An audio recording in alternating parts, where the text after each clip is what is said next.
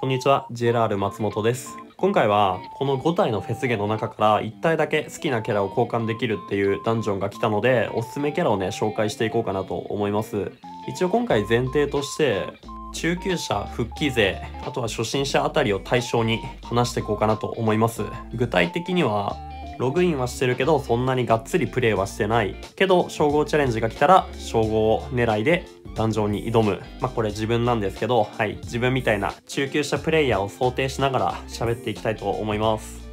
今回選出されたキャラはほとんどがリーダー運用するキャラなので編成の組みやすさどんなサブを入れるかですね。だったりあとはリーダーサブ武器のそれぞれの性能。あとは今後どれくらい使い続けられそうか長生きするかっていった面で見ていこうかなと思います。1体目三眼竜ですね。この間のドラゴンフェスで実装されたキャラなんですけどあまりにもね所持率が低すぎて全く話題に上がってきませんでしたね。YouTube でもそんなに動画上がってなかったので本当に弾けた方少ないんだなと思いました。そんなアグドラルなんですけど交換おすすめ度はかなり高いです。僕もね今回交換しようと考えてます。っていうのも、まあ、スキルがやっぱ強くて3ターンで、まあ、ループ想定して作られてると思うんですけど盤面76マスで陣を持っています。でループ想定して作られてると思うんですけど自陣1体でも組める編成が Twitter に上がってましたね。ガチドラがいれば1体で編成が組めるみたいです。でリーダースキルは結構使いやすいですね。火水木を消すために1コンボ加算で10コンボすれば78%の激減を張ってくれます。なんですけど追い打ちがねないのでリーダーフレンドで三眼竜を組むっていう編成はあんまりないのかなと思います。なのでね相方ガチャドラだったりで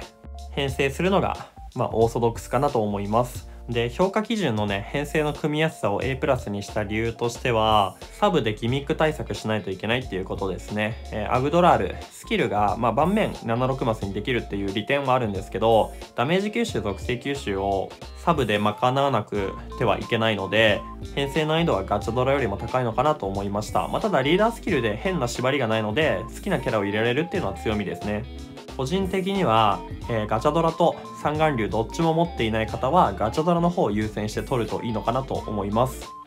続いてダイヤガチャドラですね、えー、最近の高難易度の裏奥町だったり協調だったりあとは毎月のクエストダンジョンでクリア報告がたびたび上がってるキャラです。僕もね結構おすすめしてるキャラでキルでダメージ無効貫通と属性吸収無効を持っています。であとリーダースキルも強くて全パラ2.5倍とあと半減持ってるので実質 HP5 倍ですね。でなおかつ固定ダメージまで持ってるので火力も出せて耐久値もある。結構いい感じの多色リーダーになってます。であとこいつは結構あの周回編成とかでも使われてますね、まあ、どういう用途で使われてるかっていうと武器が使われてます。光ガチャドラの武器がスキブ3つ持っててあとヘイストもあったりとかこいつの場合は本体だけじゃなくて武器も使い道があるっていうのでかなり評価高いです。まあ、パズドラって基本的にコラボだったり、まあ、新しいフェスゲンだったりが追加されていくごとにインフレが加速してこれまで使えてたキャラがどんどんどんどん倉庫版に回っていくじゃないですか。なんですけど武器が強いっていうだけで編成には採用されたりするので、まあ、取っておくのはありかなと思います。まあ、今回ラインナップされてるキャラ5体全員武器複数持っててで武器どれも強いので、まあ、ガチャドラ以外のキャラ選んだとしても後悔はないかなって感じですね。続いてシルビーとリューネですね。こいつらも今回のドラゴンフェスから実装されてでなおかつね所持率が低いってことで今回ランクインされてますね。今流行りの水と木の属性を持ってますね。えっと、正月の山積みだったりあとは鬼滅コラボの無一郎だったりと組み合わせて使うのが、まあ、主な用途かなと思います。これに関しては正月山積みだったりあとはそれこそ無一郎持ってない方は交換する必要はないと思ってます。なんでかっていうとそれこそ無一郎や山積みがいないとまあパーティーとして成り立たないからですね。まあ一応成り立たないことはなくて一応こいつ自身がヘイスト持ってるのでこいつをね複数体持っていればヘイストループができたりと、まあ、面白い使い方はできると思うんですけどちゃんとね高難易度攻略しようとか思うとしばらくは復刻が難しそうなキャラをね必要とするのでこの評価とさせていただきました、まあ、ただね武器は結構面白くてこれね30ターンの間ダメージ上限が45億っていうねこれまでにないいかれたスキルを持ってます、まあ、ただ今後ねこういったスキルは結構追加されていくのかなと思うので無理して取る必要はないのかなと思ったり思わなかったりしてます、まあ、今後のね環境を見て判断ですね。続いてしばらくの間最強ランキングを独占していたグランエルブですね。黒飛びと組み合わせて使われていました。ま黒飛び自体は限定キャラなので復刻が来ない限りは取れないんですけど、まあ、今回ね新しく、えー、新しい形態の黒飛びが追加されるということで、まあ、グランエルブの評価もねまた上がってくるのかなと思います。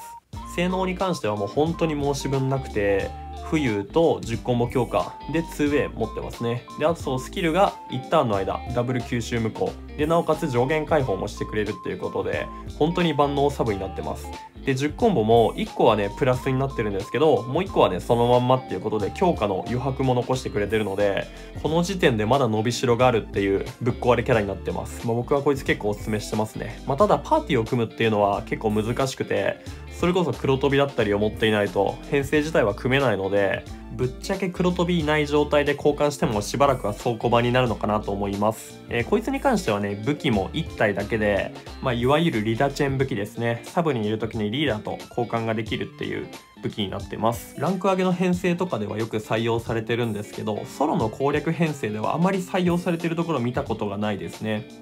最後、かの黒根風ですね。こいつは何といっても10コンボ強化の数に注目していただきたいです。えー、10コンボ強化ね、6個持ってるキャラって、実は現時点で2体しかいないです。あと、ハンターハンターコラボのユピーですね。はい。まあ、今後ね、もちろん増えるとは思うんですけど、現時点では1体しかいないです。超重力化でも、浮遊がなくてもね、火力が出せるキャラになってます。はい。なのでね、サブに入れてもいいし、まあ、リーダーとしても運用できるのかな。あんまり見たことないんですけどね、まあ、僕自身も持ってるんですけど、使ったことはないです。はい。まあ、ただね、リーダースキル3色以上で、ダメージ半減で貴族性の全パラ2.5倍っていうことで編成自体は組みやすいのかなと思いますはいまあ貴族性縛りっていうのは一応あるんですけどまあ今だったら複属性変更のね覚醒スキルだってありますしサブはね、もう無限大なんじゃないかなと思います。初心者でも使いやすいキャラですね。まあ、さっきね、ツイッター見てたら今月のクエストランジョンのクリア報告も出てたりと、リーダーでもサブでも使いやすいキャラかなと思います。あとは何といってもスキルが2ターンなので、他のキャラと比べてね、2体で運用ができるっていうのが素晴らしいですね。で、えー、武器はね、6種類あります。はい。こいつ1体取るだけで、まあ、実質7体分の働きできるっていうのはやばいですよね。武器に関しては、まあ、結構強いのもあって今ねランク上げのマルチ編成で使われてたりとかするので今後もね腐りにくいキャラなのかなとは思います、まあ、長生き度で言えば、まあ、ダントツなのかな。アグドラールたちと同率ぐらいかなと思ってます。まあ、総評として雑にね多色キャラのサブに入れても強いし武器としても強いので1体は持っておいてもいいのかなと思ったり思わなかったり。うん。まあ自分は倉庫版させてるんで、まあ、何とも言えないですけどね。ご清聴ありがとうございました。